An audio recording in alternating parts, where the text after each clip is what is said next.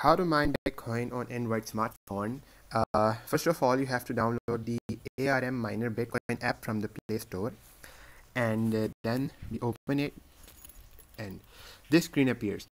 So you can see that the developer has already put a URL and a username. That is, uh, of course, the developer's username. So you have to change the URL and the username this URL states that the the pool they are using is the uh, via btc.com and in other my video in my other videos you have seen that I have suggested to use the slush pool for the beginners.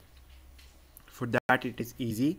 And uh, the username I have uh, already told you and again I am telling you that how to use this. So let's just see that how to configure the so in my uh, another video you can see that we have used the slush pool url and uh, it should be stratum plus tcp colon stratum dot slush pool dot com colon 3333 so we will edit this stratum plus tcp stratum dot stratum dot slash pool dot com.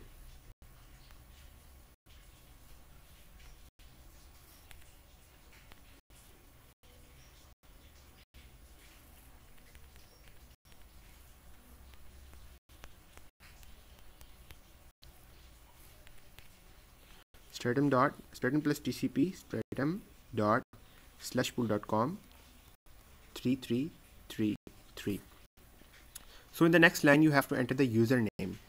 Uh, for that you have to sign up on the slushpool website slushpool.com and then you have to uh, write the username you have used for signing up. For example I have used the OB Sparks.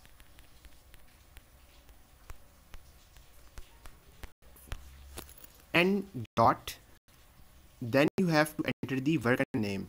You have to create a worker at the slushpool website. So for example I have created a worker name with name 1 so I've entered 1 and then the password you can enter anything. YouTube. Because in the recent update you don't need any password for the worker. So now we will see that we are now done. And uh, we will save the settings. So now the settings are saved. We can go to the mining tab and start mining.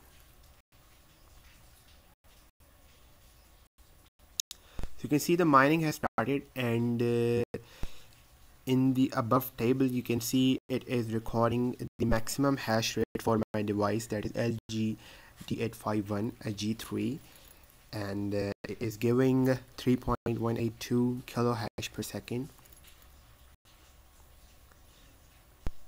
and uh, so in this way you can mine a bitcoin on your android smartphones. Of course there are other apps too. In my other videos you can find other apps too.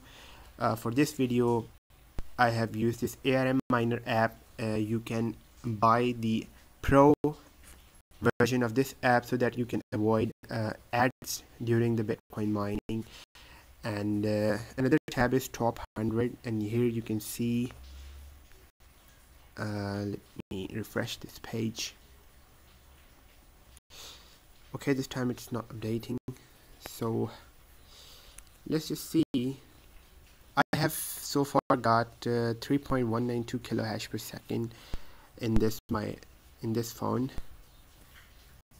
So if you have liked this video please put a thumbs up and subscribe to my channel. And if you have any questions please put it in the comments. Thank you for watching